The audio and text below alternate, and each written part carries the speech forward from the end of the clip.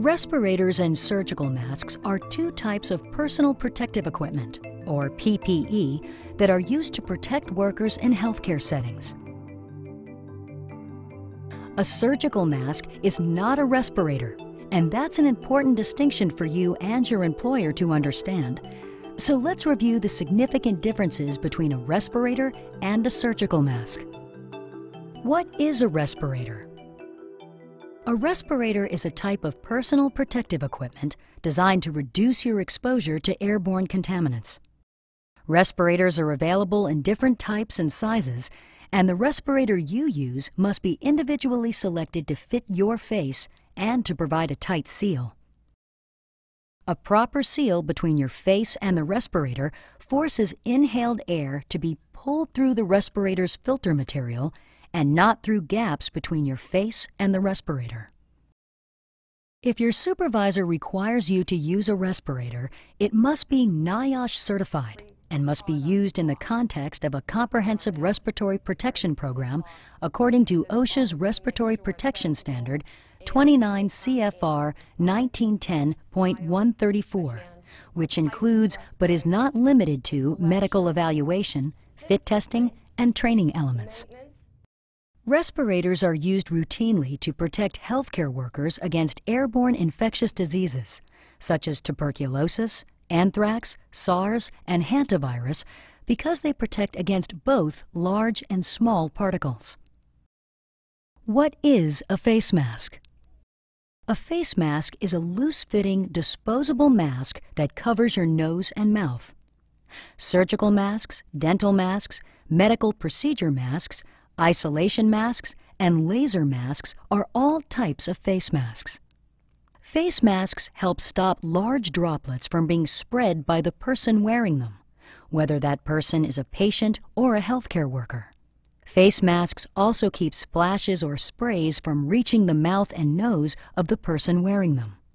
However, face masks are not designed or certified to seal tightly against your face or to prevent the inhalation of small airborne contaminants.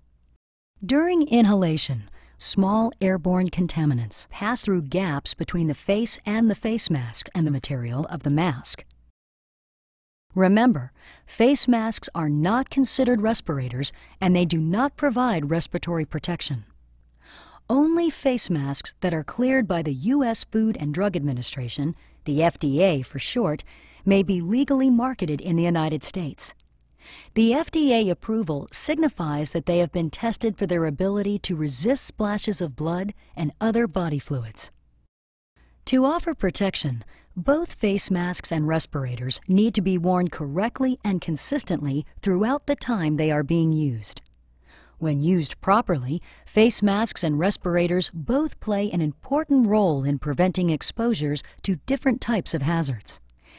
If you need the protection of both a face mask and a respirator, you can use a surgical N95 respirator. Surgical N95 respirators offer protection from both airborne and body fluid contaminants and are approved by both NIOSH and the FDA. During an infectious disease outbreak, such as SARS or pandemic flu, face masks and respirators should be used in conjunction with other controls and interventions that are known to prevent the spread of infection. These include engineering and administrative controls, such as installing sneeze guards and permitting teleworking, and work practices such as cough etiquette, hand hygiene, and avoiding large gatherings. For additional information on respiratory protection in the workplace, consult this website. Mention or visual display of the name of any company or product in this video does not constitute endorsement by the Occupational Safety and Health Administration. This video provides a brief overview and general information regarding respirator use in your workplace. It does not cover all of the requirements specified by OSHA's Respiratory Protection Standard at 29 CFR 1910.134 and is not to be used for compliance purposes.